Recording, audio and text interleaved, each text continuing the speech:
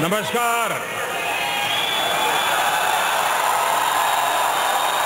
कैसे हैं आप सब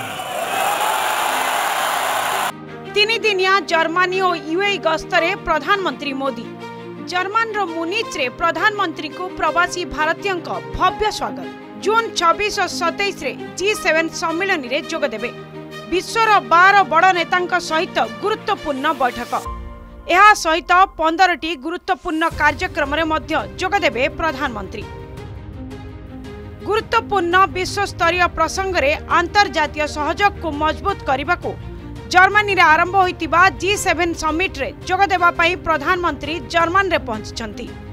जर्मन राजधानी मुनिच्रे पहचापर प्रधानमन्त्रीको जर्मा अवस्थापित इन्डिया डाइस्पोरा तरफ्रु भव्य स्वागत सम्बर्धना गरि यही अवसर में प्रधानमंत्री मुनिष्टे प्रवासी भारतीयों को संबोधन कर भारत की संस्कृति एकता और बंधुत्व के भाव का दर्शन कर रहा हूं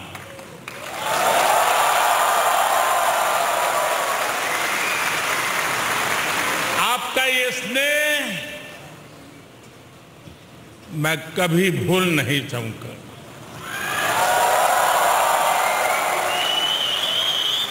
आपके इस प्यार के लिए इस उत्साह और उमंग के लिए मुझे पूरा विश्वास है जो लोग हिंदुस्तान में इन खबरों को देखते होंगे उनका भी सीना गर्व से भर गया होगा